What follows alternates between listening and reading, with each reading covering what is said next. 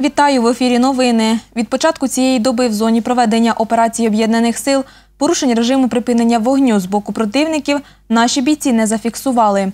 В області за минулу добу виникло 26 пожеж, одна людина загинула. Сьогодні висновки пошукових робіт у Пушкарівському яру, що в обласному центрі, передадуть до Полтавської міської ради. Більше про це та інше далі. Від початку цієї доби в зоні проведення операції об'єднаних сил порушень режиму припинення вогню з боку противників наші бійці не зафіксували. Таку інформацію станом на сьому ранку повідомив представник прес-центру прес-центру Міноборони Дмитро Гуцуляк. Нагадаємо, учора окупанти 19 разів порушили режим припинення вогню. Противник обстрілював українські позиції із заборонених мінськими угодами калібрів озброєння. Також застосовував гранатомет різних систем та стрілецьку зброю. Чотири військовослужбовці отримали поранення, ще двоє травмувалися, повідомив Дмитро Гуцуляк. В області за минулу добу виникло 26 пожеж, одна людина загинула. Про це повідомила речниця рятувальників області Світлана Рибалко. Так, у селі Писарівка Полтавського району огорів житловий будинок. Також вогнем спалено двоє сусідніх, нежилих будинків та суха трава. На місці пожежі рятувальники знайшли тіло людини 1957 року народження. Нині, за словами Світлани Рибалко, збитки та причини пожежі встановлюються. Також в області виникали пожежі на відкритих територіях. Так, між селами Пологи та Руденківка Новонсажарського району рятувальники гасять пожежу очерету. З 35 гектар загорання залишилося загасити 27, каже Світлана Рибалко. На Полтавщині продовжується надзвичайний рівень пожежної небезпеки. Про це повідомила Рибалко. У ці дні забороняється розводити багаття у лісі та на інших відкритих територіях заїжджати до лісу машиною і відвідувати хвойні насадження. Також палити, кидати непогашені сірники і недопалки. Не можна заправляти пальне під час роботи двигуна і спалювати рослинність, як у лісі, так і поблизу нього. У разі порушення правил пожежної, небез... пожежної безпеки штраф від 85 до 255 гривень, каже речниця обласного управління лісового господарства Лілія Гнатенко.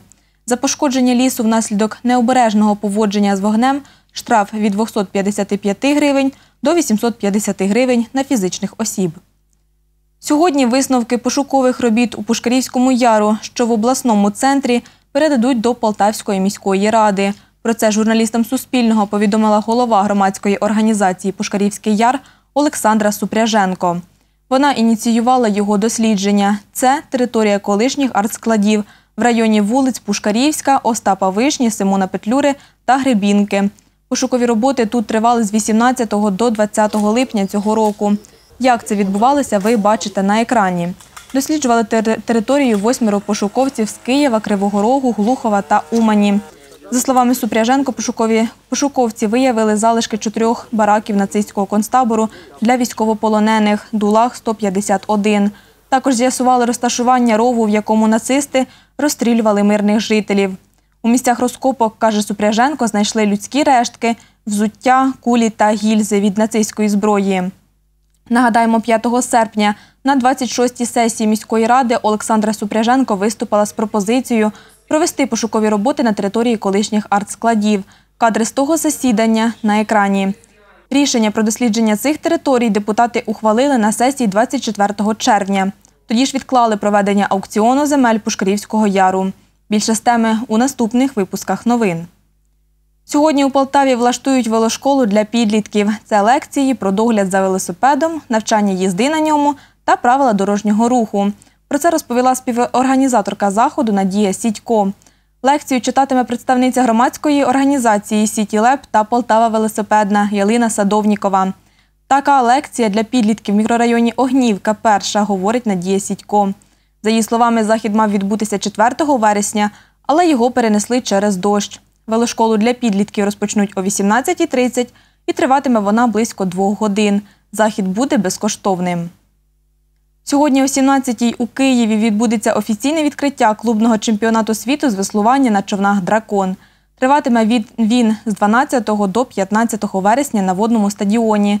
Змагання відбудуться у трьох вікових категоріях юніори 15-18 років, дорослі спортсмени 19-39 років та майстри категорії старші за 40 і 50 років. Полтавщину представлять дорослі спортсмени та майстри. Це близько 50 спортсменів. Загалом серед учасників з Полтавщини восьмиразові чемпіони світу полтавці Едуард Шеметило, Артем Баландін, Денис Камерилов та Владислав Дігтяр. Наші земляки веслуватимуть у трьох командах Драгоком, Горішні плавні, Отамани Львів та Сальса Київ. На відео ви бачите, як тренується столична команда. Веслуватимуть чоловіки і жінки в трьох видах змагань в спільних човнах, порізно та змішаних класах. Також будуть два типи човнів на 10 та на 20 спортсменів. Дистанції 200, 500 та 2000 метрів. У змаганнях візьме участь більше двох тисяч спортсменів з 20 країн світу. Чемпіонат світу з веслування на човнах Дракон українська столиця прийматиме вперше. Малохмарну погоду без опадів прогнозують на сьогодні на Полтавщині. Про це розповіла синоптик обласного гідрометцентру Олена Панченко.